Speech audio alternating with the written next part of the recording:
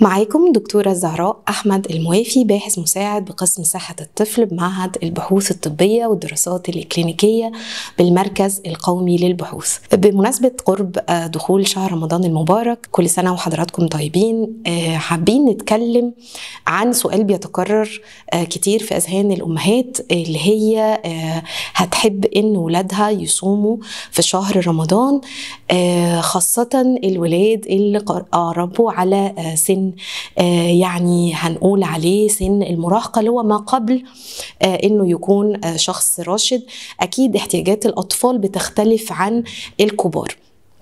في السن ده إحنا بنكون قربنا شوية في احتياجاتنا وبيكون زيادة عليها إنه لازال بيكون في فترة من النمو.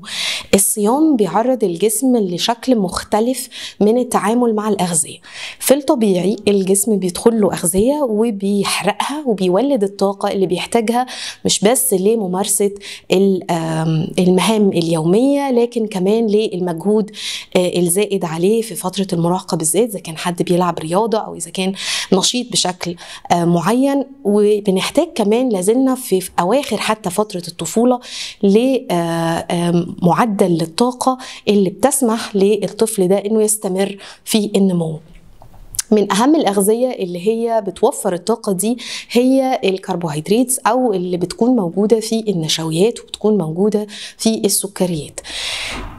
الطفل أو المراهق اللي هيقرر إن هو يصوم محتاج يبقى فاهم كويس إنه ده المصدر الأساسي للطاقة وإنه الجسم بيتعامل مع المصادر دي بيحرقها سواء النشويات اللي بتتمثل في الرز المكرونة العيش المعجنات أو السكريات اللي هي بتكون في شكل الفواكه أو التمر اللي إحنا بنبتدي بيه كسر الصيام والعسل أو أي نوع آخر من الوجبات اللي بيكون مضاف ليها السكر الأبيض. دي أول مصدر للطاقة في الجسم. لما بيتعرض للصيام الجسم بيتحرم من دخول الموارد دي ليه وبالتالي بيبتدي إن هو يطلع من المخازن اللي موجودة. طيب هل الطفل عنده نفس المخزون بتاع الشخص البالغ ولا لأ؟ بيكون المخزون عنده أقل شوية لأن لسه الأجهزة اللي بيتخزن فيها السكريات أو عموما الجلوكوز بيكون أقل نضجا أو أقل حجما من الكبار. أهم الأماكن اللي بيتخزن فيها الطاقة هي الكبد والعضلات ثم بعد كده بيتخزن الطاقة في شكل دهون. طب دلوقتي الطفل ده لما يتعرض لفترات طويلة من الصيام اللي بينعدم فيها دخول الوجبات للجسم. هيبتدي يطلع المخزون ده من الكبد لعدد ساعات من الصيام ثم يبتدي بعد كده ياخد من المخزون الموجود في العضلات. ومن هنا بيحصل تكسير شوية في الكتلة العضلية. فبننصح المراهقين خاصة اللي بيكون بيمارس نوع من أنواع الرياضة أو اللي نشاطه عالي شوية إن هو يهتم جدا جدا مش بس بمصادر النشويات والسكريات زي ما قلنا ولكن كمان بمصدر من البروتين. البروتينات المختلفة سواء كان بروتين حيواني أو بروتين نباتي أو بروتينات مصادرها الأساسية هي المنتجات الألبان. البروتينات الحيوانية على اختلافها اللحوم الفراخ الأسماك أو البروتينات النباتية سواء كانت في شكل الحبوب زي الفول زي الفاصوليا زي العدس أو الألبان أو منتجات الألبان المختلفة من أول اللبن للزبادي للجبن المختلفة. كل دي مصادر البروتين وبجانبها طبعا البيض مصدر مهم جدا للبروتين اللي بيساعد الطفل أو المراهق على الحفاظ على الكتلة العضلية. ناس كتير بتصاب بالخمول أو بالكسل أو بالتعب أثناء فترة الصيام. عايزين برضو نلفت نظرهم إنه أنا كطفل أو كمراهق بمارس نوع من أنواع النشاط الزائد عن الطبيعي.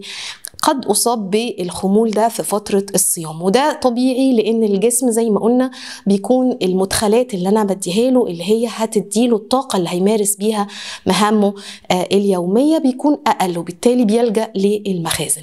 الوقت لما هيبتدي ياخد من الكتلة العضلية شوية فأنا محتاج أعوض ده مش بس بمدخلات من البروتينات المختلفة زي ما حكينا ولكن كمان إن هو محتاج يمارس جزء من الرياضة ما ينقطعش عنها تماما. ناس كتير تقول إزاي هلعب رياضة مع الصيام أو هلعب إزاي رياضة مع رمضان وكتير منهم بيتوقفوا عن ممارسة النشاط الرياضي في السن ده بالذات. هو مهم جدا جدا جدا لأنه بيحافظ على الكتلة العضلية.